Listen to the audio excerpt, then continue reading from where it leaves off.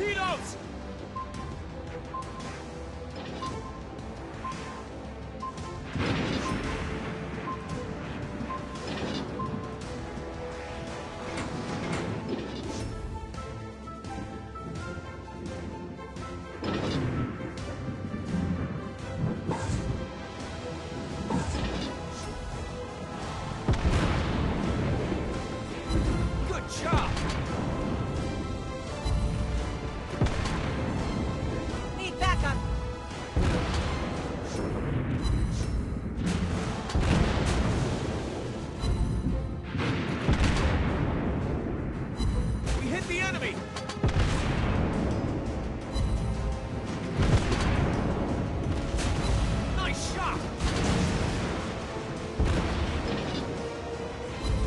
Situation is under control.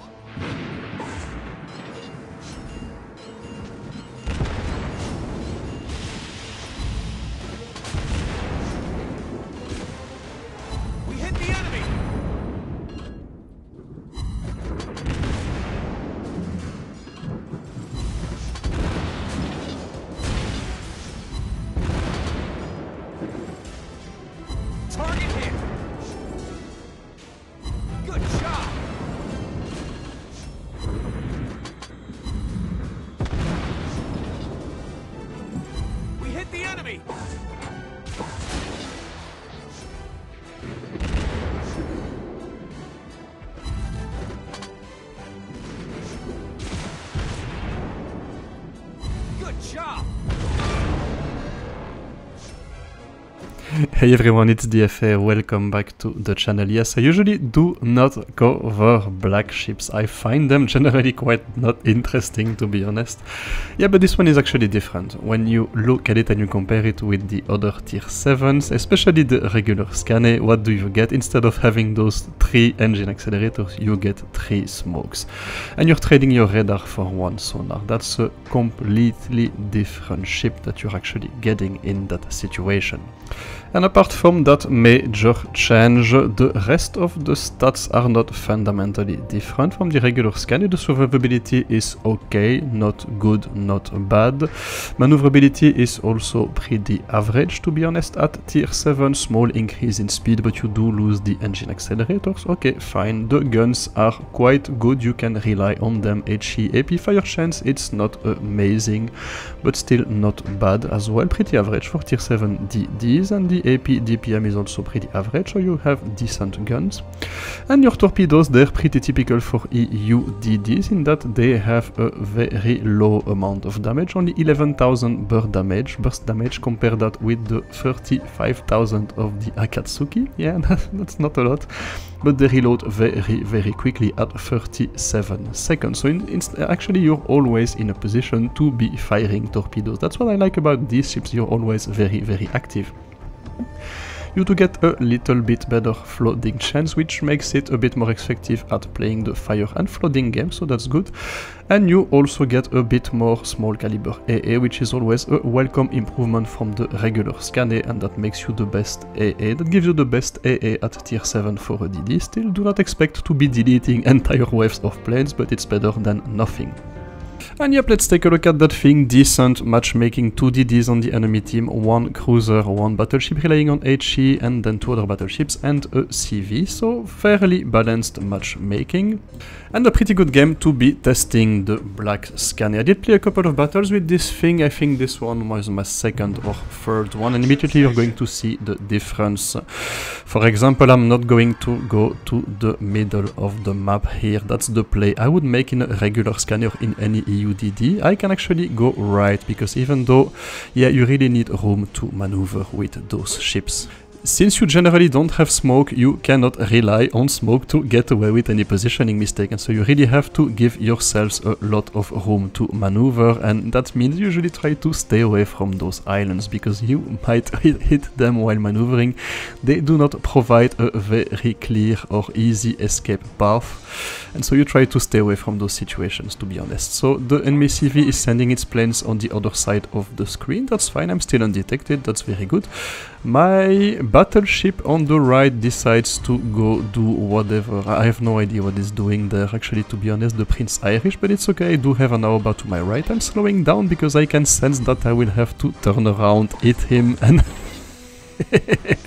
Guess what happens when I am not hitting an island? I do hit another cruiser. So there you go, that's the first sonar charge in action. You actually get one, but you can increase that to two with your commander skills. And yeah, you see the main difference, for example, with that Z31. Those torpedoes of him move incredibly slow. I have no idea why I wasted my sonar on it, to be honest. but my torpedoes are already on target and past target, and I'm actually already in a position to be firing them again. And just look at that situation. Two battleships next to one another, immediately firing a salvo. The torpedo range is absolutely excellent with that thing. And so yes, you are not going to be dealing a lot of damage in with each salvo, but you are going to be hitting targets very often, you are going to be hitting them very... There you go, that's two hits on the Lion, two hits on the Prince Irish at a very high distance, and two flooding, so each ship has been flooded actually, so if my team manages to set them on fire, there you go, they've already used their damage control kit. And what I particularly liked about the black Skane, well you, you saw the increase in AA there, I did take down a couple of planes from the Hiryu, but honestly do not expect that thing to be turning into a Halland at tier 7. I just want to manage expectations that it's not going to happen. And you're lucky if you have down between 5 and 10 plates at the end of a game, to be fair. And so yep, continuing the battle, yeah, usually the playstyle of this DD is actually fairly simple.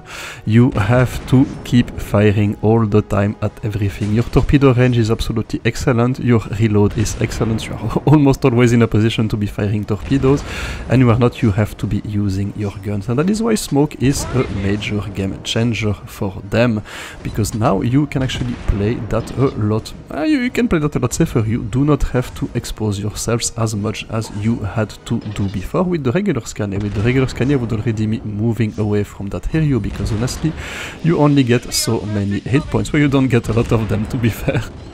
Now he's flooded and if I simply want to be punishing him I'm going to pop up my smoke and that's actually going to even give me enough time to be reloading another salvo of torpedoes. I'm staying also safe from the torpedo and dive bombers and I'm simply going to wait for that Hiryu to but I'm actually not going to wait for him to do anything because there I sense an opportunity.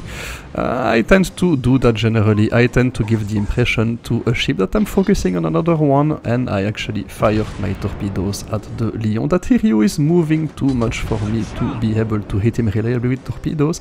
The Lion probably thinks he is very safe because I am focusing on that Hiryu trying to set him on fire. He's already been flooded and that allows me to place a very good salvo. There you go on that Lion.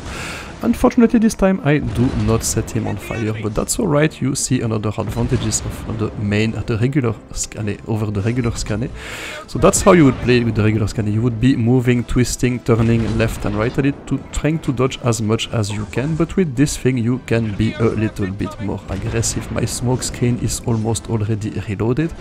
It's incredibly easy to be putting those torpedoes on target because they move so quickly, look at that, they're already on target, and that Hiryu this time it's going to get flooded for good. And oh no, we don't flood him, but that's okay, so low on health. I'm going to be finishing with the guns, and I will be able to do that before that Lion is in position to fire again. I enter the cap, kill the Hiryu, and there you go, I go hide into my smoke screen, and that makes me relatively safe. The torpedoes are already reloaded, this time Lion, you're going to get it. And since I'm relatively safe in smoke, I can finish him absolutely no problem. So you see the difference with the regular Skane. You are able to hold positions, caps, make dangerous plays a lot safer and a lot easier than, than you would be before. And sure enough, boom, there you go, bye bye that Lion as well. Big game hunter, 65k damage.